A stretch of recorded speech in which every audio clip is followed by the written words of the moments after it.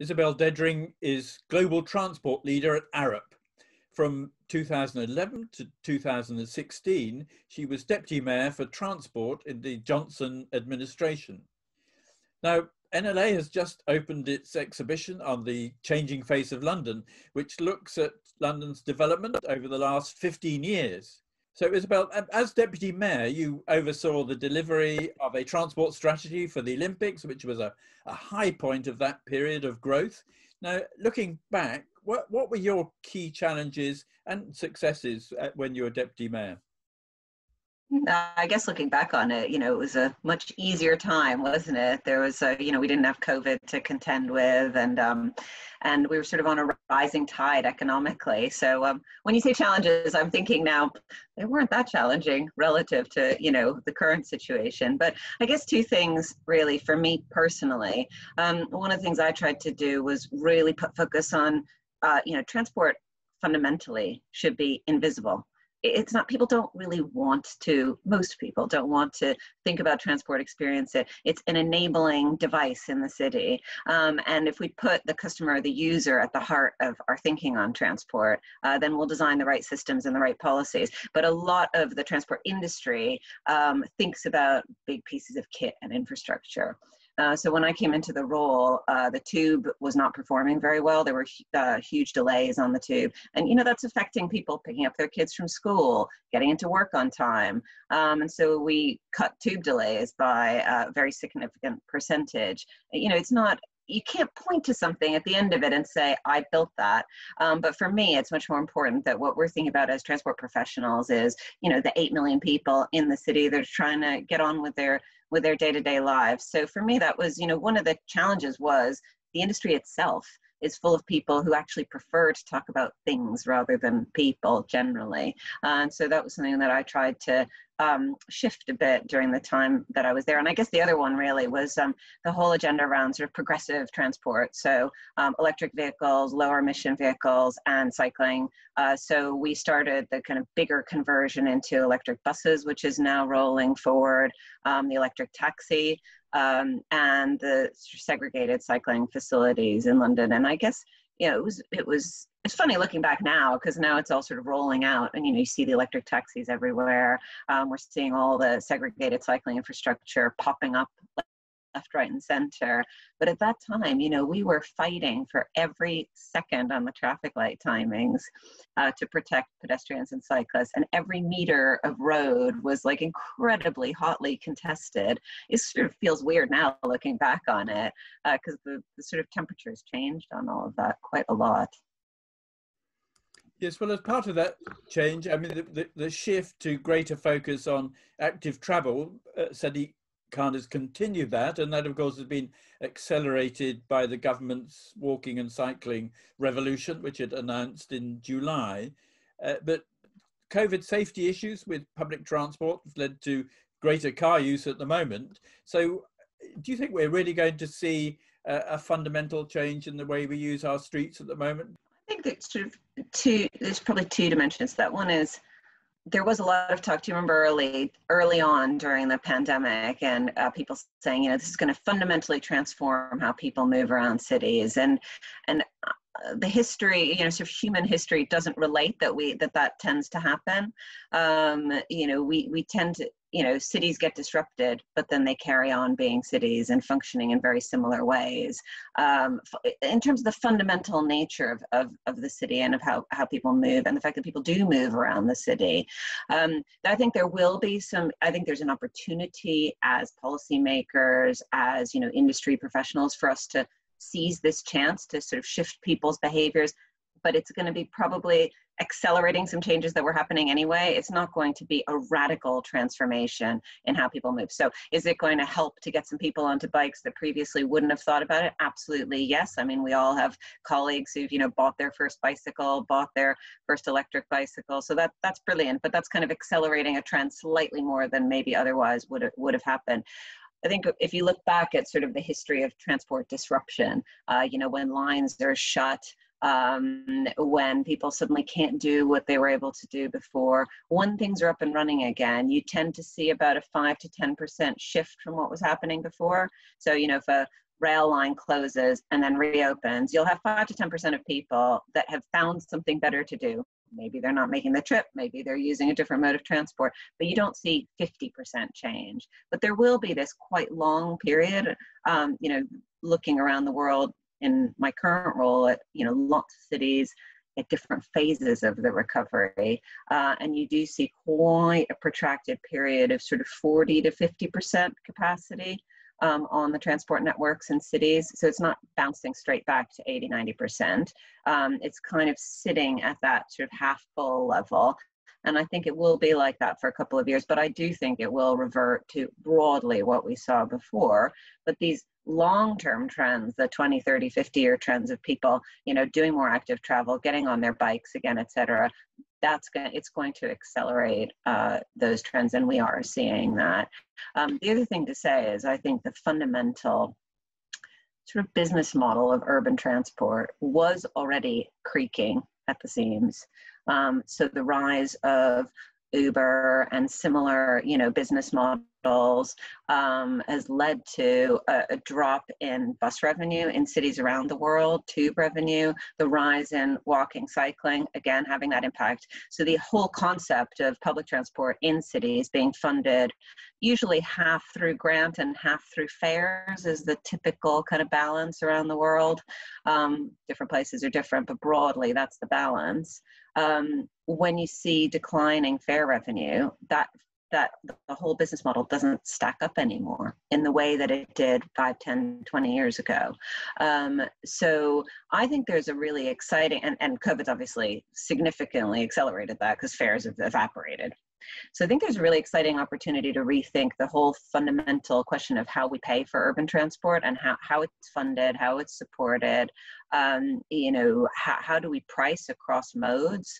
Um, so, you know, does it make sense that car travel in most places is effectively free? And to the extent we pay for car travel, it doesn't go to the city, it goes to the national government that doesn't make too much sense. Um, you know, walking and cycling is free. Maybe we should actually pay people to be walking and cycling. That's all doable now with the technology that we have. So, a kind of multimodal view of transport, not just in terms of understanding movement from a policy perspective, but actually understanding it and using it from a pricing and a business model perspective. I think that's there is an opportunity there now, whether we're all brave enough to really think about that is a is a different question. But in my view we should be you know this is the time that we should be thinking about you know scary things like road pricing but rebooting them into the modern urban app driven era um, in a way that you know if amazon were running our urban transport systems you better believe the pricing model and the business model wouldn't be the way it is today. And, and we need to be much more radical in thinking about that. And we will need to be because there isn't going to be a, a reversion to some happy norm 20 years ago uh, where everything was in balance financially. Well, I think both the mayor and the government are about to publish their report on uh, funding of TFL, so it'll be interesting to see what they say. Uh, but so, what is your view of the current re relationship between City Hall and Whitehall over uh, uh, the sort of management and funding of T TFL? Because obviously um, Andrew Gilligan was uh, part of your team, wasn't he, in terms of delivering cycling, now on the board of TFL, and you have quite a few people in number 10 who were actually involved with running London uh, in the Johnson administration. But it's, a, it's quite a complex relationship, isn't it? Yeah, I mean, I think also, you know, it's not like there's some magic money tree somewhere. You know, with all, of the situation we're confronting with COVID, you know, how, how are we going to get ourselves out of very significant financial, not just in transport, but obviously urban transport is the, you know, a prime example of a, a very difficult situation where it isn't, you know, well, that funding stream's dried up, but this other one, you know, is now coming you know up the ranks and therefore it all balances out in the end um, i do think that there this is as i say i think this is the time to think differently about how we're constructing the pie chart of how we stack up the funding uh, for transport. I think that's fundamental. I think the other thing that we really have not explored in general around the world. Um, but London's a, a, another example of that. Um, is you know other revenue streams for transport. So when we build new transport infrastructure, you know that always leads to you know an increase in economic activity. It leads to increase in property values. Uh, that's around around the world. You see that almost every time uh, you put in transport investment. But almost none of that, usually none of it, is, is recouped back into the transport system. So, you know, the taxpayer, the fare payer makes this investment and the benefit all goes into the pockets of homeowners, commercial property developers, you know, large landowners, um, and that just, you know, fundamentally, that from you know basic economic perspective, um, it doesn't feel like the right answer, um, especially when you don't have the funding anymore to make those investments. Is there a different way to think about that? And obviously, London's made some, you know, big steps forward relative to other cities. Looking at this, Crossrail is a good example uh, in terms of the funding model. Uh, the Northern Line extension is funded through this sort of model. And uh, we're seeing, you know, at Arup, looking around the world, there's more, more interest in cities around the world in how how they can kind of much more actively use the kinds of tools that London started to deploy. Um, so I, I would be expecting to see, you know, well, if I were sitting uh, where Andrew's sitting, if I were sitting where, where government is, I'd be looking to have a lot more of that sort of uh, thinking and doing brought brought into uh, into London and indeed elsewhere. Um, other cities around the UK are in very similar boat.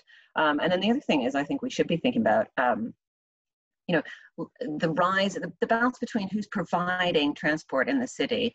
Previously was, you know, largely it's either entirely private your car or entirely public the, the I don't know you know the tube um, and this sort of rise in all of these you know shared cycle schemes uh, ride sharing that are private companies but arguably delivering what we would consider to be primarily a public good, which is, uh, you know, moving people around the city. So, you know, they don't pay for any of the infrastructure that's provided. The, the punter pays for the service, but the, the provider doesn't pay TFL anything.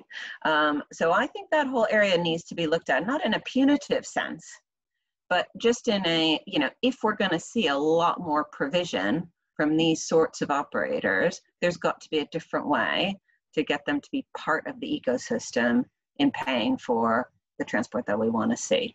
And, uh, you know, uh, well, I, there's many ways you could construct that, um, but a kind of system where people pay a, a pittance for licensing, um, for example, probably isn't the right model going forward.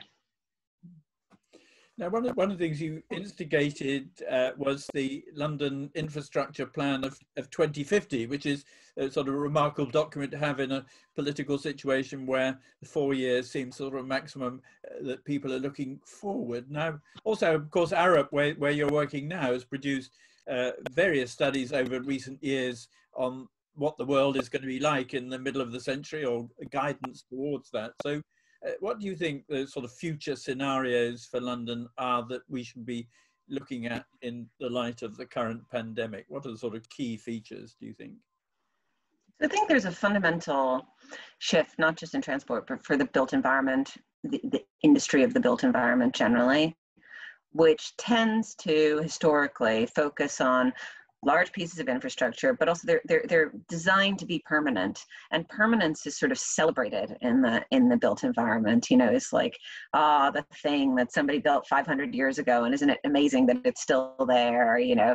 Um, but one one of the things that's changing or, or, a feature of this phase of human evolution is there's a, there is a lot more uncertainty and we want to try and build in to our built environment actually less permanence and more maybe permanence in some senses, uh, but, but more flexibility, agility. How does the infrastructure actually respond to the city that it's trying to serve?